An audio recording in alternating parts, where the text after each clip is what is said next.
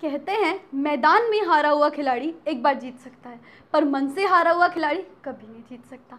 Welcome to focus on biology my name is Zoya Azeem basically इस channel पे मैं biology content से related video upload करती हूँ, पर मैंने सोचा बच्चों को पढ़ाने के साथ साथ थोड़ा मोटिवेट भी करना चाहिए, इसलिए मैंने आज ये वीडियो बनाई है।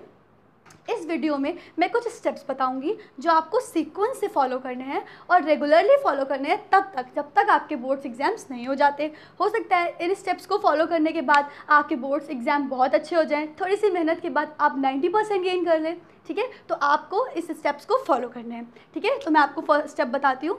So the first step and the most important steps remove your fear remove your fear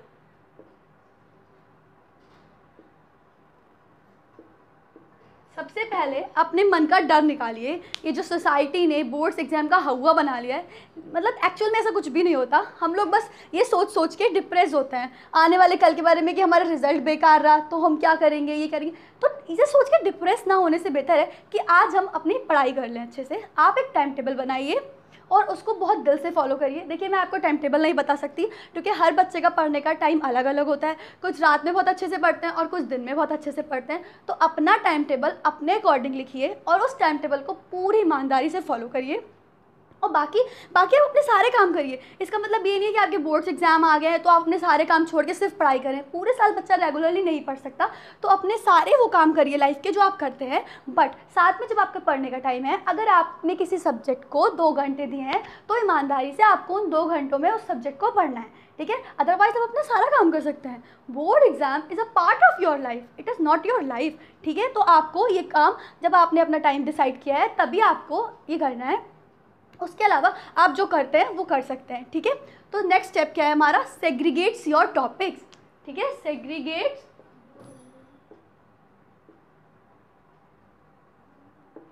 segregate the topics इसका क्या मतलब है?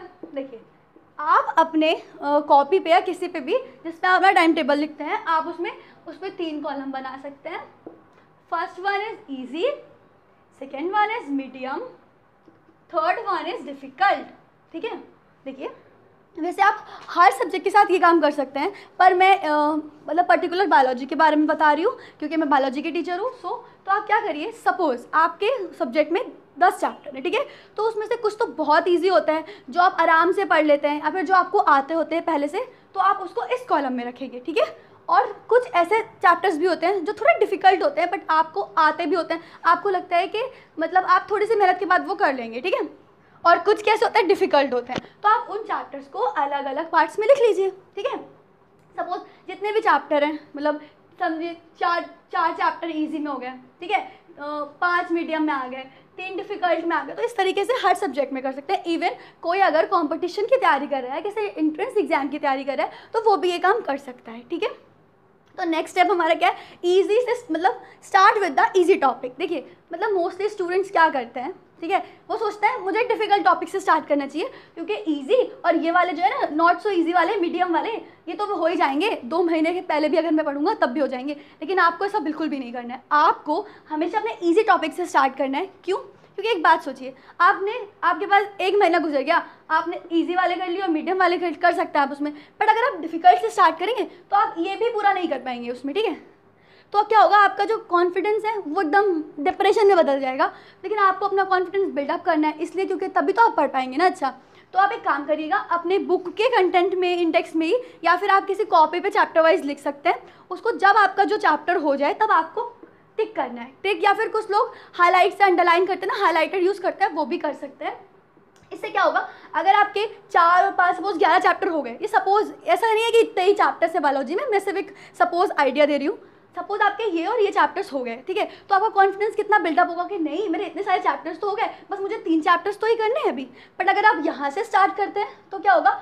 बस आपके इतनी मुश्किल से फ़िलहाल ये तीन तो होने वाले भी नहीं है। अगर सपोज़ दो भी आपके इससे हो गए तो आपको क्या अच्छा लगेगा कि आपकी पूरी बुक में सिर्फ़ दो ही टिक होगा? इससे बेटर है तो आप ना ईजी से स्टार्ट करिए, ठीक है?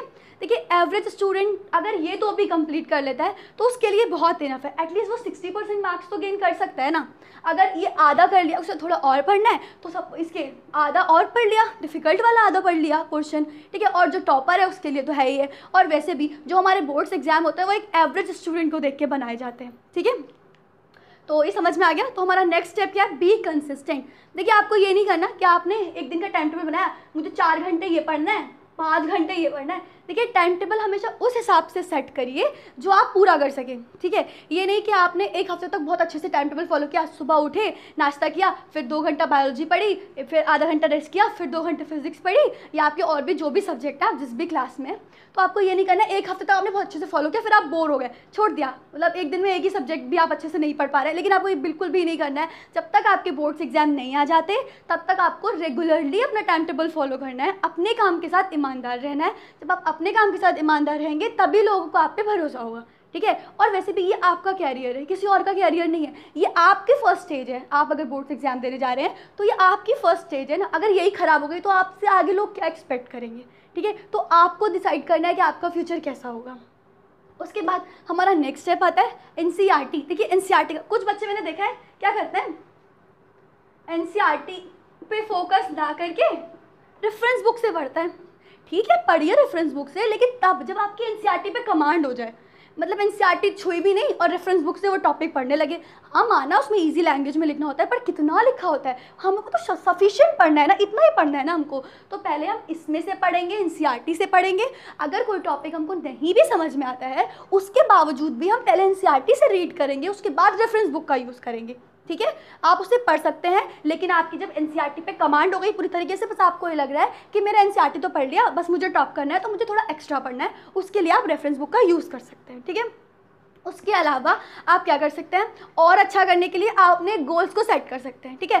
कैसे गोल्स को सेट करना है? मतलब जब एग्ज़ाम आने वाला है, आपके सपोज़ एक मंथ पहले आपने गोल सेट किए। आज मुझे क्या इतना आधा सिलेबस रिवीजन करना है। लेकिन एक चीज़, आपको हमेशा अपने गोल्स बहुत छोटे छोटे सेट करने हैं। ये नहीं कि नहीं, मुझे पूरा सिलेबस ही आज पूरा रिवीजन करना है। देखिए, उतना ही सेट करना चाहिए गोल जितना आप कर सकें। देखिए, अपनी एफिशिएंसी अपनी कैपेसिटी खुद जानते हैं। हर बच्चे की कैपेसिटी एफिशिएंसी सेम नहीं होती। सबकी अलग अलग होती है और आपके बारे में आपसे बेहतर कोई नहीं जान सकता। तो अपने अकॉर्डिंग अपने गोल सेट करिए।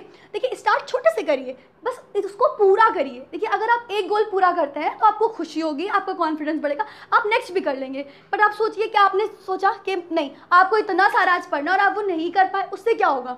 आप आप डिप्रेस हो जाएँगे और आगे कभी कंटिन्यू नहीं कर पाएँगे। तो इसलिए हमेशा गोल्स को छोटा छोटा गोल्स को अपने सेट करना है, ठीक है?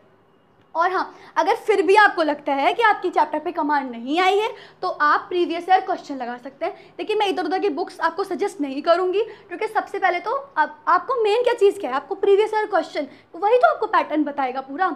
और कुछ चैप्टर कुछ क्वेश्चन तो ऐसे होते हैं जो एज इट इज़ रिपीट हो जाते हैं तोड़ मरोड़ के। देखिए लैंग्वेज चेंज करते हैं क्वेश्चन वही रहता है हुँ? हम्म? तो अब आप पूछेंगे कि एक दो क्वेश्चन के लिए मैं पूरा प्रीवियस ईयर क्वेश्चन क्यों पेपर क्यों लगाऊँ? देखिए उससे आपको पैटर्न पता चलेगा और इससे आपका टाइम वेस्ट नहीं होने वाला।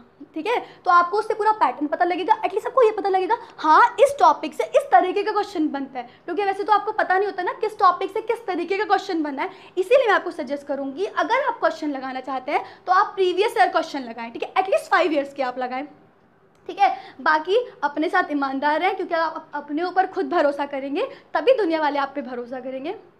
बाकी अगर आपको मेरा वीडियो पसंद आया तो प्लीज़ इसे लाइक किए, करिए, शेयर करिए ज़्यादा से ज़्यादा एंड सब्सक्राइब करिए for my upcoming new videos thank you